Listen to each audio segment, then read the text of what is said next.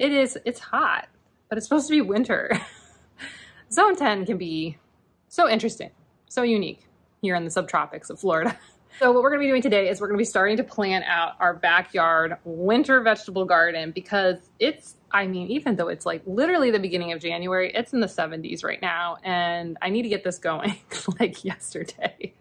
So that's why I have some tomato twists and some stakes behind me because we're gonna literally start mapping it out. I'm also gonna have to figure out like what's all the stuff I need, both from materials, soil, mulch, anything else, plus um, what, what am I planting?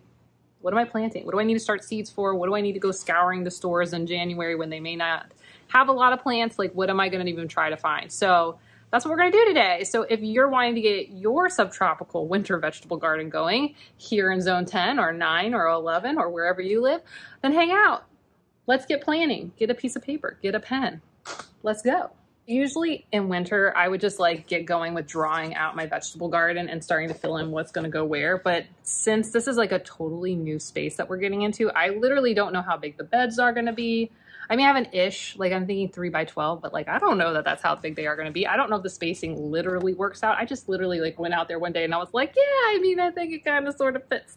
So today what we're going to do instead of starting to draw first, what we're going to actually do is physically go out there and map it out and make sure we can create beds that aren't too deep, um, ones that have enough walkways, which I'll talk you through kind of the thought process behind some of this, and like how many can I fit? I think I can fit three, maybe four, maybe less, maybe more, who knows? So let's get going. Let's start mapping it out and I'll talk you through kind of all the questions that are in my head and like how I'm thinking through everything. So when looking at locations in my backyard, actually one of the first things that I looked at was the sun. Like how much sun does this backyard get? And different locations get different varying amounts. And while when I originally designed my front vegetable garden and I was focused on getting some semi-shade because, well, we have a lot of sun and it's intense down here in the subtropics. When it comes to the vegetable garden in the back, because we're really gonna be pushing this for fall, winter, and spring, the sun isn't quite as intense and actually its location changed quite a bit, right? In the summertime, it's like straight up. But right now, I mean, we're not that late in the day and it's already behind these palms and the pine and it's pretty low in the sky compared to what it'll be come the summertime. And that means that when it's lower in the sky, it throws a lot more shade deeper into our yard. One of the things that like it is a big difference is the patio during the summertime, almost this entire grass, well, it's not grass right now, but this grassy area was completely sun. But now that we're in the winter time, I mean, you can see the shade on this area throughout the day. It comes pretty significantly out, good eight, nine, 10 feet.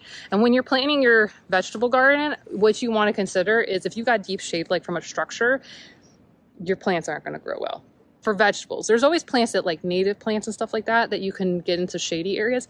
But for vegetables, they pretty much want what's considered full sun. But we've talked about this in other videos. Full sun means different things depending on where you live. I mean, Alaska's full sun is not Florida's full sun. So being in zone 10, you know, we're looking at four, six, maybe eight hours, which that's about all the sun we get in a day anyways. so we want to look at spaces that are going to maximize sunlight for the fall winter, spring season. Now, full sun in the win winter, summer. Summer, totally different case. Then we're talking shade cloths and stuff like that. But since that primary area, because the main classic vegetable seasons, those seasons, we needed an area that would be quote unquote full sun. And for us, now it's the shadiest part of the day, it would be this section right behind me all the way over there. Now the challenge is, is there's a lot of shrubbery over there and it gets pretty narrow and I wouldn't be able to fit that many beds. And because this is gonna be really pushing for the most amount of production, I picked this, this area. So what we generally talked about, Ben and I, and now we gotta scope it out, is this area gets the most amount of sun throughout the day. Basically from once the sun comes up over there, it has sun, sun, sun, sun, sun for a good four to six hours. So we're gonna use this spot. So now, now we gotta figure out how big I can go without it like completely taking up the yard for dogs and us running around a little bit, but also maximizing what space we are gonna give to it. So what I'm gonna first do is just kind of stake out the the maximum per, well, the maximum-ish perimeter of the entire thing. So this won't be like what a bed's gonna be because you're gonna look at this in a second and be like, wait, what the heck? That looks like it's huge. You're not gonna be able to have that all its beds. No, this is just gonna be like, what's the entire space gonna be? And then from there, we'll figure out how many beds we can fit in it.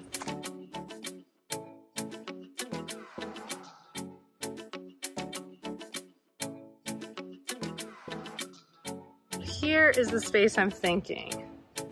I have no idea how big that is. And right now I'm just using yellow tomato twists more so it's easy for you guys to see than that you need these. You could use any staking type equipment or string just to map out the area that you need. It's not a requirement to have these. I just happen to have these on hand. So I figured it would be a good place to start. So if I back up, let's see how big this space is. Does it look big enough or do we need more? We could come out further. I just don't know if we want to. So I'm actually gonna go grab Ben and see his thoughts on about the size that I'm generally laying out for this. But I don't know. I don't know. Maybe we wanna go all the way to the fig and the sugar cane. Let's see, let me go get Ben. So you see the four stakes out there. What do you, how do you feel about taking up that much space in the vegetable garden? Excited? Excited? Oh, really? Oh, okay. There you go. It's a lot of space. Does it need to be bigger? What if we went all the way out this fig here? Is that too much? I worry that that'd be too much for us to stay on top of. And like actually eat all of That too.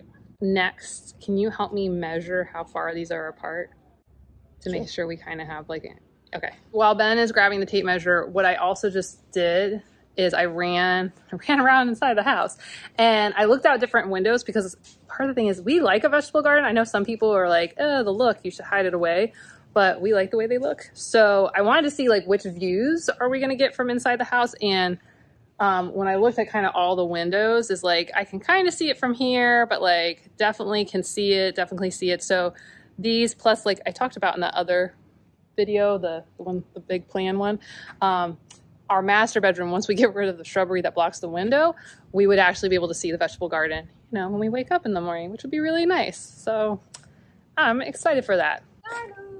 Good girl. Good girl.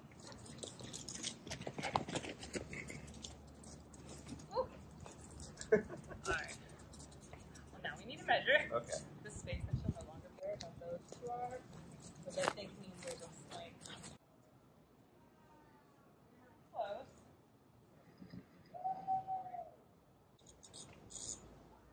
This is 20.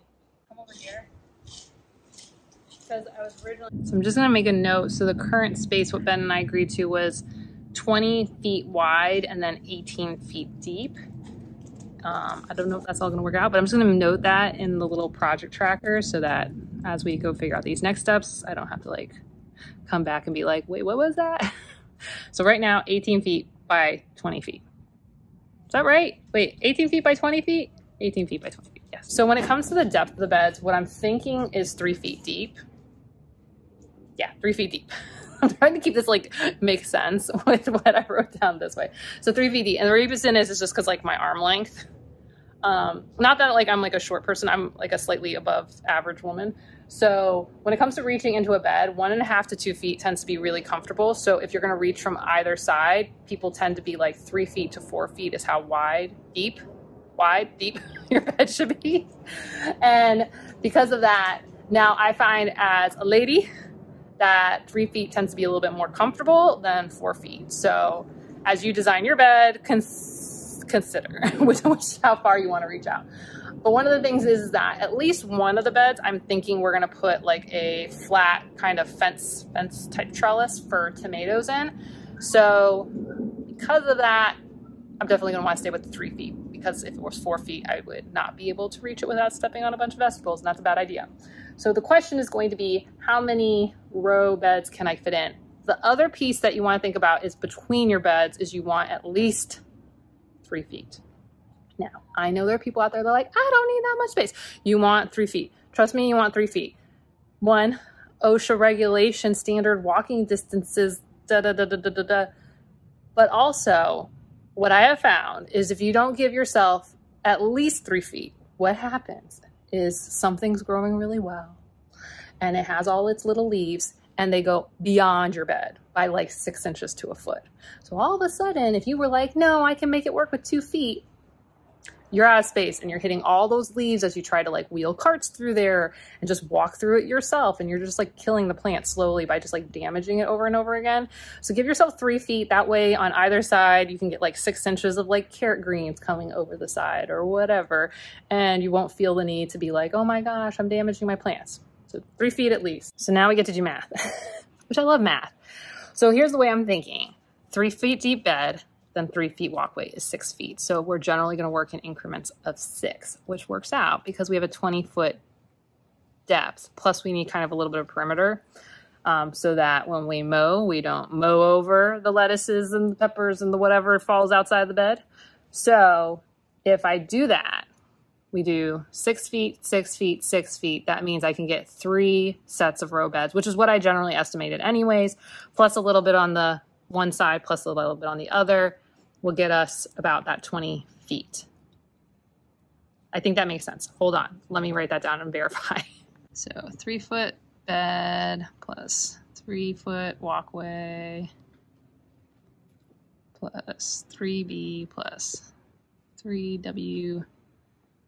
This is 6, 9, 12 plus 3 foot bed, 15 plus three foot walkway,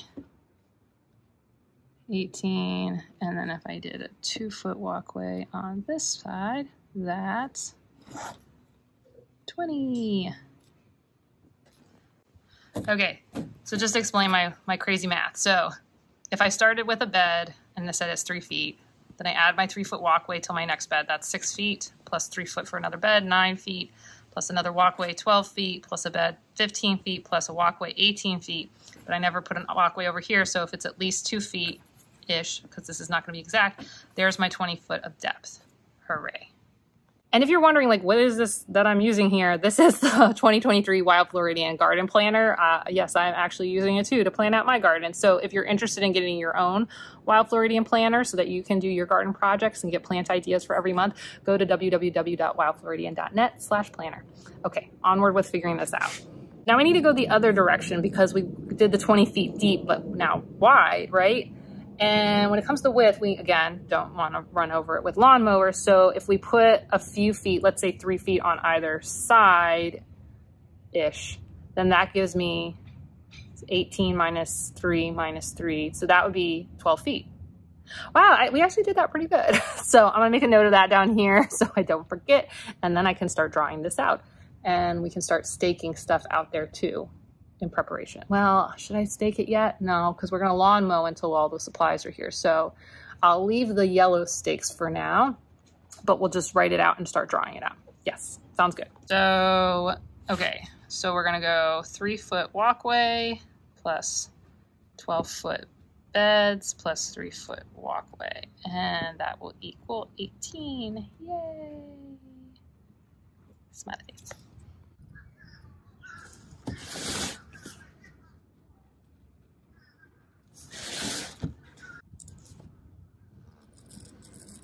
I just make my life easier and I go boop, boop.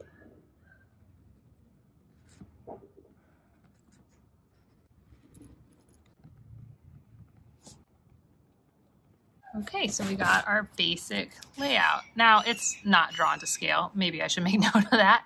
Um, but as long as I know the beds are three feet, the walkways are three feet, and I focus on when I build it, really making sure these are maximized. Like even if this is like two and a half and two feet, like who really cares? Um, mostly it's just like, I don't want to be, I want to have space to walk and not like accidentally mow the vegetables. So that's the biggest thing. So we've got our three beds. But now we got to figure out some other pieces. Like how much soil is this going to take and how much mulch is this going to be? So we got to do some more math. I'm going to need my calculator for a second, but I'll take you through the math.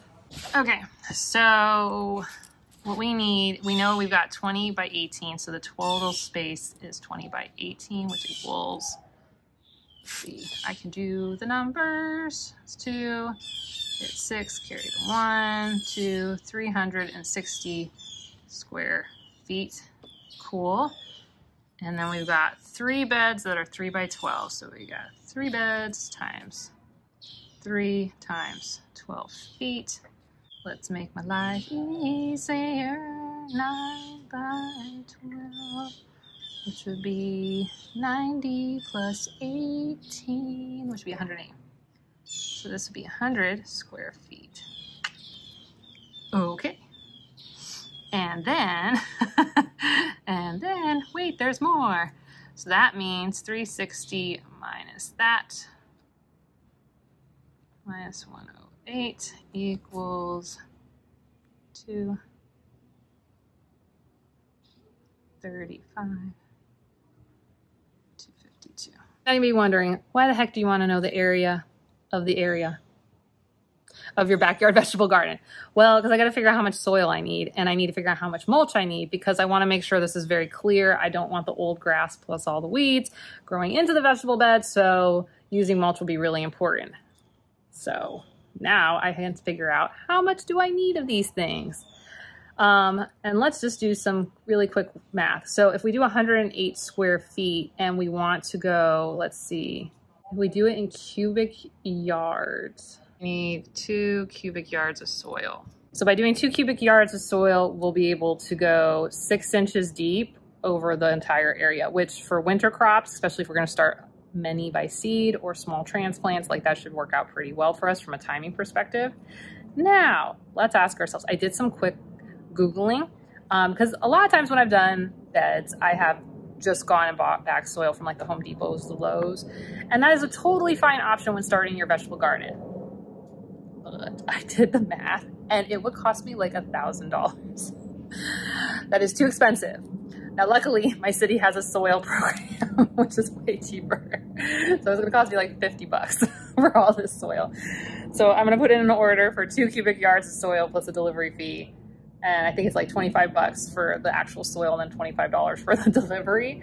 And hopefully it gets here in time uh, for us to get going. Well, not in time, like I just wanted to get here quickly so we can like get going on this.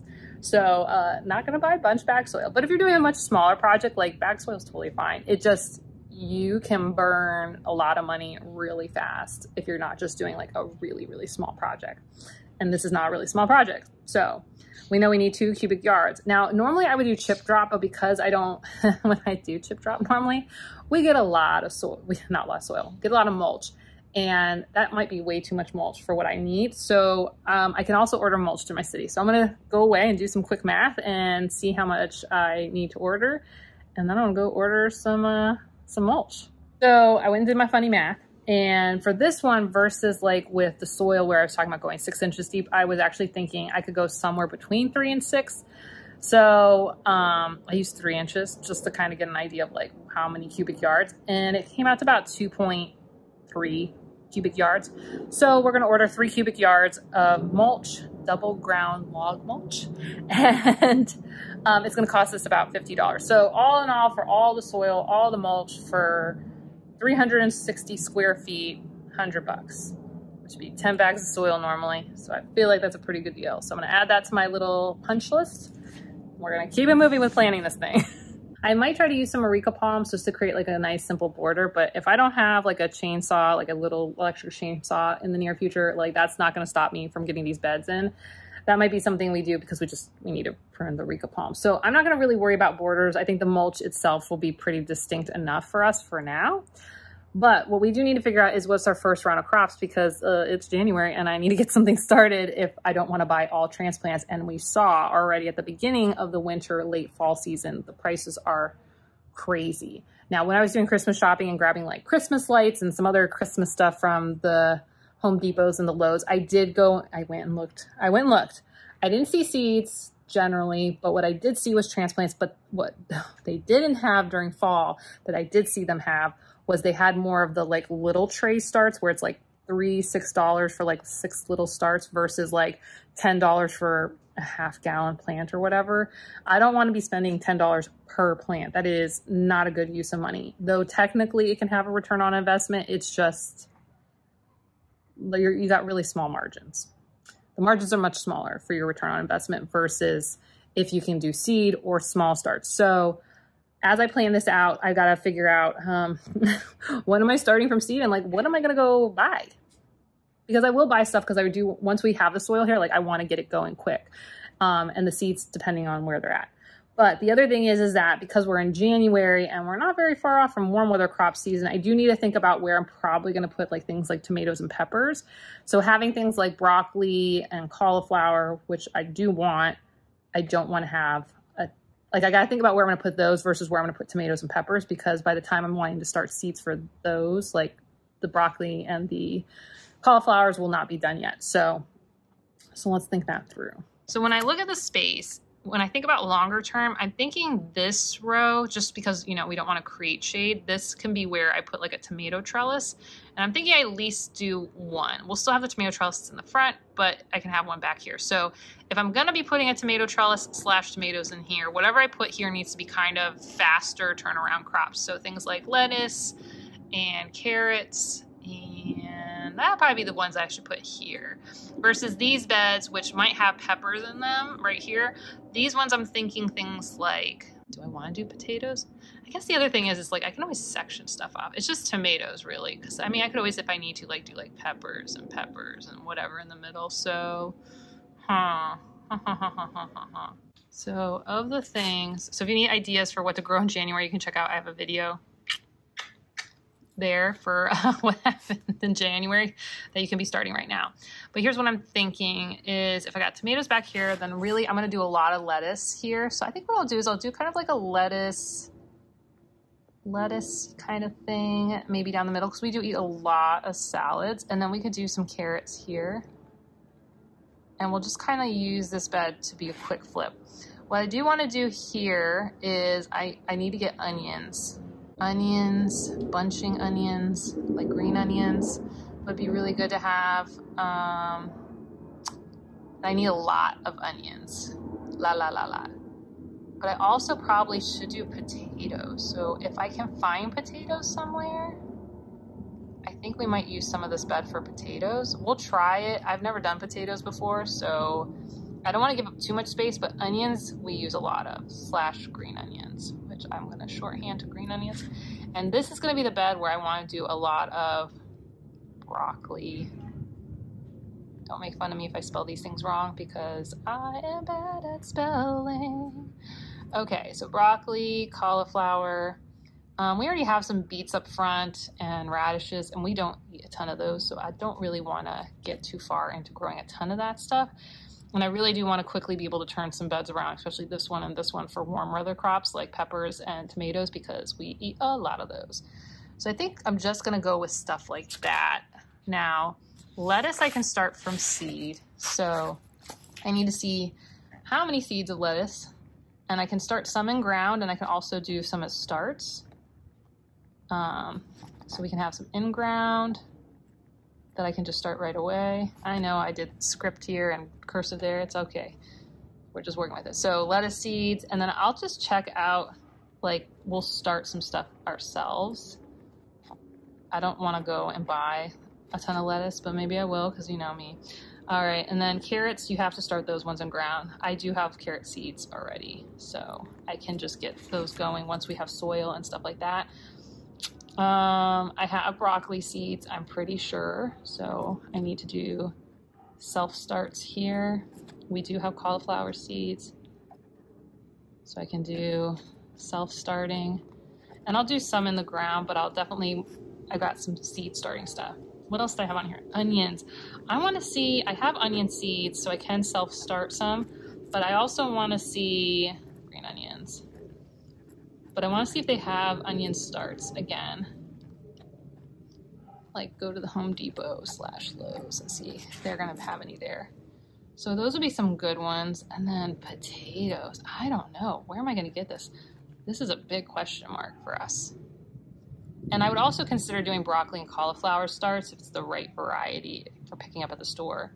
I also need to amend some things I need to do is I need to uh, charge some biochar because I got lots of ashes. So that's one of the things when you buy soil is like it's may have the minerals, like, you know, like the vitamins for your plants, but it doesn't necessarily have the, you know, if you ever hear people talk about the microbiome, but like if you think about it like your own system. Like it's like the good bacteria in your digestive system so that like your body can absorb all the like minerals and things it needs. It's kind of the same thing that's happening in the soil for the plants is like there's like bacteria and like funguses and bugs pooping stuff all out for I don't know, just don't worry, manure's poop. where it comes from just changes. But we need to do some things to like kickstart that because the soil we're gonna get is not like it might have been inoculated, which just means like they killed all the life. So it's just minerals we can't live off of just vitamins. Like it doesn't work like that. So we will need to do some things to one, make sure that it has all the minerals. So that's where like biocharge and charging the biochar will come into play. Um, and if you have some like quick tips or good tips on charging biochar, I'd love to hear them because this will be my first time doing it. And then other things that we're going to use, I'm going to talk to my neighbor about getting some of her rabbit compost because um, poop has the good bacteria and stuff already in it. So getting it from her, she lives across the street and she has lots of rabbit poop.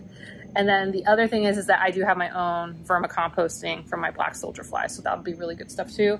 So we'll use that to mix in with the soil so that we can like get stuff going because we need to get stuff going. So I just want to make sure I remember that. Like so now that I've got a checklist, what I'm to do, I won't hang out here in the video and do it, is I'm going to try to get an estimate of how many like lettuce plants I think I'm going to need, how many carrot plants I think I'm to need, so I can figure out how many seeds I need, how many starts I want to start, because that's what we're going to be doing across some of the next couple videos is I'm going to be going to look and see what my Home Depot, my Lowe's, and some of my other garden centers that are nearby have at this time of year, one. And two, I'm going to start some of my own seeds and I need to know how much I need because like if I make a bajillion carrots. Well, I won't make carrot starts, but like if I make a bunch of broccoli and then I have too many, like what am I going to do with it? And that always stresses me out when I have way too many. Not that we won't add a little extra, but if you have too many and you're just like, you feel like you wasted your work. You know what I'm saying? Yeah. So that'll be what I do next. So hopefully this helped you put together a game plan for yourself as you plan your subtropical winter vegetable garden and get you ready to get lots and lots and lots of harvests through the winter and the spring because that's what we can do down here in zone 10. Like we grow food all year round. Okay, I'll see you soon. Bye.